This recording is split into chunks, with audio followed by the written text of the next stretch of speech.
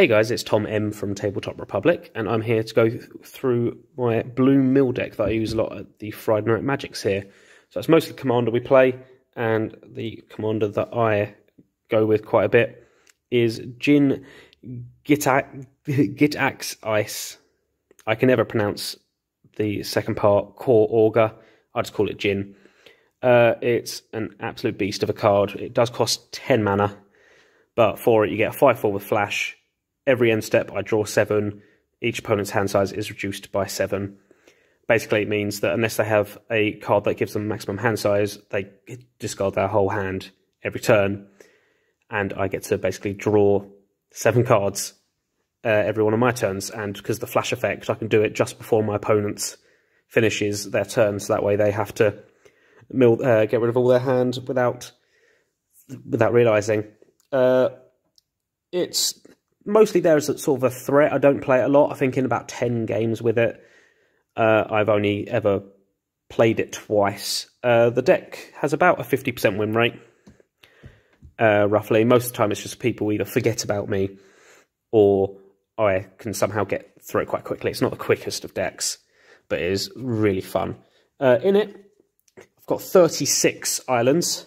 Uh, it's quite a lot, however, it is quite a needy deck uh, so we've got a 10 mana commander, and I've got some cards in here which uh, are uh, quite a lot, roughly about some about 10 as well. I think I've about, got about two that reach about the 10 mark. Um, in terms of other lands, uh, I've got Reliquary Tower, obviously, for my maximum hand size, and the Castle Vantress uh, gives me a bit of a scry option. I then have four different mana artifacts. I've got a Thought Vessel, so another max, no maximum hand size, tap for a colourless. Heraldic Banner, so all my blue creatures get plus one, plus zero, tap to add a mana. Spectral Searchlight, tap, uh, choose a player, they add one mana of any colour. This is a really good card for politics, uh, so you can just leave it untapped and then be like, hey, I'll give you a free mana if you can help, if you use it to help get rid of a player and Traveler's Amulet uh, to sack it to get a basic land in my hand. Um, so in total, that's I believe uh, 42 land out of the whole deck, which uh, is quite a lot. However, if I do add more cards to this, some of the land will go depending on the cost of the card. I then also have two reductions of maximum hand size as well. Uh, Folio of Fancies, everyone has no maximum hand size and it's got options to draw cards or mill, and then a, a magic mirror, which does cost loss, cost less for the later in the game I play it. Uh, no maximum hand size, and basically I draw the number of cards I drew last turn plus one. So during the first turn I draw one, then next one I draw two, then it's three. And so the longer that stays on the board, the quicker I mill through my cards. Um, then I have three counter removals. I have got Exclude to counter creature spell and draw a card. I did also have uh, Reduced Ash, I believe it's called, which is the same pot from it costs one more mana. So I thought I might as well put this one in, just save me a mana. I've got Spell Shrivel. So it's two in a blue. It's devoid, so if anyone blocks any uh, coloured coloured spells, um, I counter spell unless they pay four. If they is countered, it's exiled. And another colourless removal, which is Scour from Existence, just to exile a target permanent.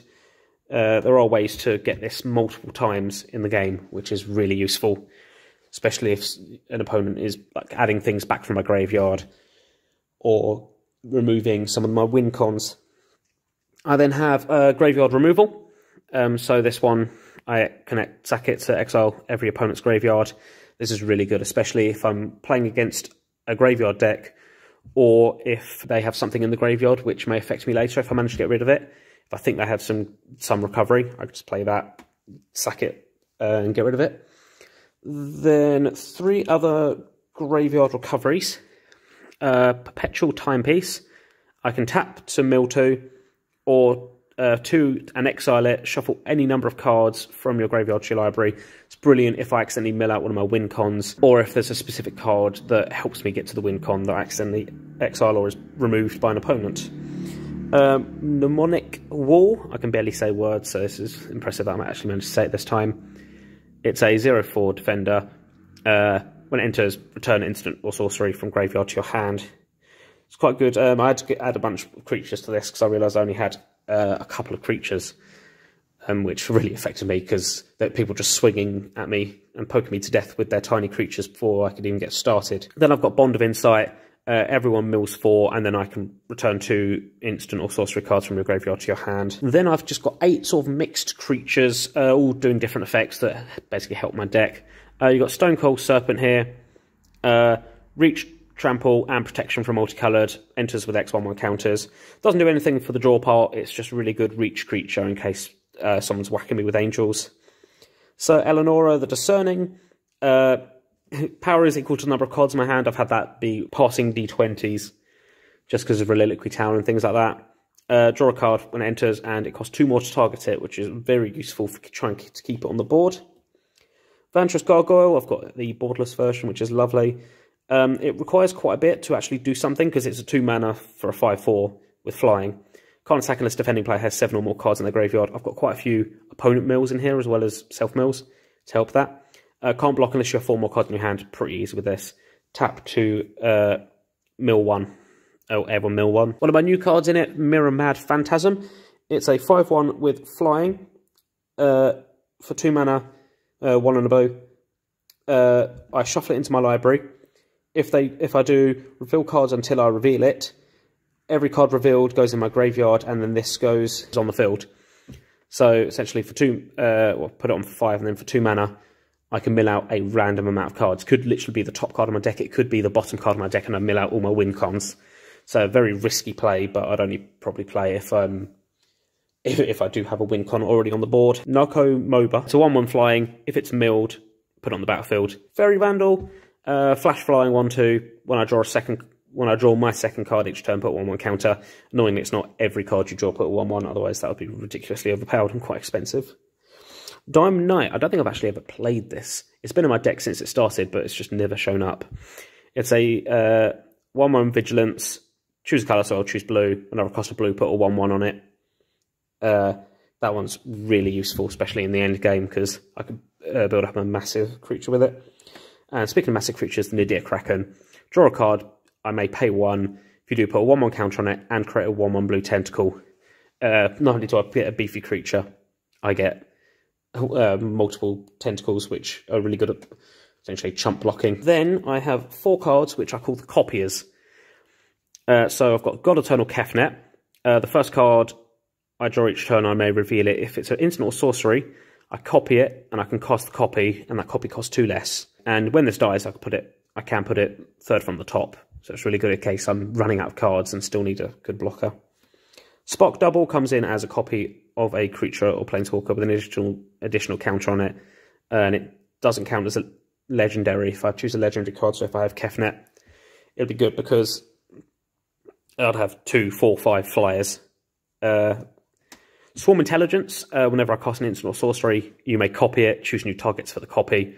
This is stupidly useful. It's been amazing in this deck because with essentially opt, for example, I get to scry one, draw one, and then do it again. And Narset's Reversal, another card. I've played it with Swarm Intelligence before, which is quite good. So copy instant or sorcery, return it to my hand, and then I can choose cards for the copy. So it's a bit like Kefnet's ability uh, with it. So I play uh, a draw card. This doubles it.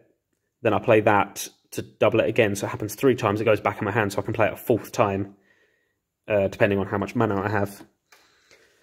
Uh, then I've got two self-mill cards. So I've got Tunnel Vision. Name a card. I reveal cards until I reveal that card.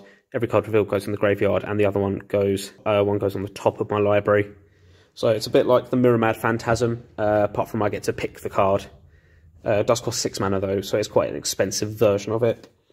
And Deranged Assistant, uh, tap mill one, but I get to add a colourless mana, which uh, is quite useful obviously it's quite a risky play if I if I just want the mana. Um, then I have four cards that are scryers. Uh, Jace's Sanctum, all my instants and sorceries cost one less, and whenever I cast one, I get to scry. Sphinx of Foresight, beginning my upkeep, I get to scry one, and then uh, if I have it in my opening hand, quite a task because it's never happened before yet. um, but I get to scry, scry three in my first upkeep. Um, Overwhelmed Apprentice, everyone, uh, every opponent mills two, then I scry two. Lens of Clarity is uh, probably one of my favourite cards in the game. I just get to look at the top card of your library at any point, so you can plan your next step straight away. You can't. It's not scry so much because I can't change what's coming up. I could just look at it, um, but it's uh, really useful for helping me plan my next moves. And I can also look at morphs uh, I don't control. I can always look at morphs I do control, but this allows me to look at morphs that I don't control, which basically stops all morph decks because I can just see what they've got and decide whether or not I want to attack them. I've got two cards which sort of require scrying. Uh, so Conundrum Sphinx, uh, when it attacks, everyone chooses a card name. If they if the top card is revealed to be that card, they put it in their hand. If not, it goes to the bottom. So, obviously, if I scry, I, I know what's coming up. And so, if it attacks, doesn't need to do combat damage, just needs to attack, I basically get to draw one. Uh, then Diviner's Lockbox, for one and a mana, choose card name, reveal the top card. If it is it, if it has that name, sacrifice it and draw three cards, uh, but only at sorcery speed. Then I have seven cards which are scry and draw ones. So I've got precognitive perception, draw three, or if it's on my main phase, scry three, draw three. Tamiyo's epiphany, scry four, draw two. Unexplained visions, uh, draw three cards, and then if three mana, three blue mana was spent on it, scry three. This is probably the one I'd get rid of if I was to get a new, a new card on it because it's essentially just precognitive uh, perception for the same mana, uh, for well, for the same CMC, but the scrying is sort of the wrong way around. So I, uh, it can come in useful if I know the first three cards. Uh, Opt, obviously the classic. Scour possibilities, scry 2, then draw, and it's got flashback so I can cast it for its flashback cost, which is really useful if I run out of all ideas. Omen of the Sea, uh, scry 2, then draw, sack it to scry 2 and Witching Well, Scry 2, Sack It to draw 2. Then I have 11 just simple sort of draw cards.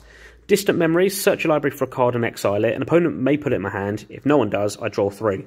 So I don't want to pick one of my obvious win cons in there because no one will choose to put it in my hand. So I just put one of my medium cards in there. So I put Nadir Kraken in there before, and people have been like, no, we don't want Nadir Kraken in your hand. And so I get to draw three, so it's pretty useful. Into the story, uh, this is more of a late game card where an opponent has seven or more cards. I get to draw four. I never normally play for that cost unless I've got Omniscience on the board. Visions of Beyond, draw a card. Same again, better effects if an opponent or if a graveyard has 20 or more cards. It's really good for me because I normally have more than that. Uh, Glimpse of Freedom, I get to draw a card and I can escape it so I can exile cards from my graveyard. I've as you've seen, I've barely got any graveyard recovery, and that focuses on the main cards, so I don't mind getting rid of a bunch of cards. Uh, of memory, draw three, then play a mills three. Most of the time I pick myself, uh, apart from if I am sort of running low on cards. Finale of Revelation, draw X cards. Now, uh, never normally do the X effect where X is 10 or more. I can shuffle my uh, shuffle your uh, graveyard into your library and draw X cards, untap five lands, and I have no maximum hand size because I never want my graveyard back into my library. Covenant of Minds, reveal the top three cards of your library. Uh, they A target opponent may choose to put them in my hand. If they don't, I put them in my graveyard and draw five. So it's either draw three or draw five, so I've got no complaints about that. Winged Words, uh, draw two cards. Uh, Verity Circle is really good. If a creature an opponent controls becomes tapped, if it isn't being as an attacker, I may draw a card. This is basically an anti uh, Angie, because basically because it, it's not attacking, it just keeps tapping to uh, discard and draw. I get to draw a card for each time it does it. Uh, Twitch, I may uh, untap target artifact, creature, or land. So I can I pay the three, choose one of the ones. So technically, it could only cost one and a blue to draw a card, but I can also use it to untap an artifact if I really need it. And Gadwick, the Wizened, uh, three blue, and then X. X is the amount of cards I draw, and it's quite good because uh, whenever I cast a blue spell, I can tap a non-land permanent opponent controls. So it's uh, useful sort of in the end game if I'm trying to go, if for some reason I'm going for combat damage effects. Uh, then we get to sort of the real, real meat of the deck. These are sort of the win cons that I aim to get when I play. Uh, so I've got expropriate in it. Uh, so these two are the extra turns. So I've got expropriate. Uh, so everyone votes time or money. For each time vote, takes an extra turn. For each money vote, choose a permanent owned by the voter and gain control of it. So I'd obviously pick time, so I get at least one extra turn. And everyone else is going to go for money uh, because they'd rather give let me pick one of their things to take, unless for some reason they've got a 100 100 trample, in which case they probably want me to take an extra extra turn because I don't have much removal. And then I've got plea for power. Uh, starting with you, everyone votes time or knowledge. Time, take an extra turn. Knowledge, uh, draw three cards. Uh, then that's only if. Uh, so I mean that one is for each vote. This one is whatever one gets more votes. So it's either draw three cards or take an extra turn. So it's not as powerful as expropriate, but for four mana, it's not too bad. Then I've got three cards which relate to my Thassa's Oracle win con. So you've got Thryx the Sudden Storm, uh, Flash Flying, Exposure cast with CMC 5 or greater cost one less and can't be countered. Uh, when this is on the board, essentially, it's amazing to put one of the best cards, I think, in, in my deck, Omniscience, on the board.